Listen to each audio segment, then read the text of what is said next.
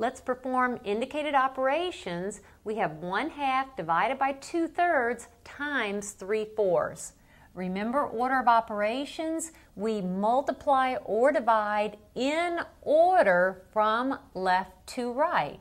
So I will perform 1 half divided by 2 thirds first, then I'll multiply that by 3 fourths.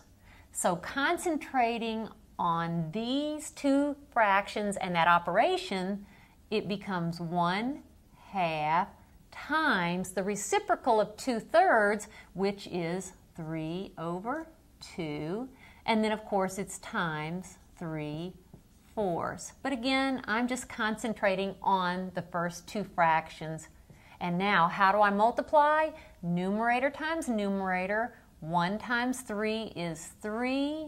Over 2 times 2 is 4. And then I have times 3 over 4, coincidentally. So how do I multiply fractions? Well, it's numerator times numerator. 3 times 3 is 9. Over 4 times 4 is 16. So my answer when this expression is evaluated is 9 sixteenths.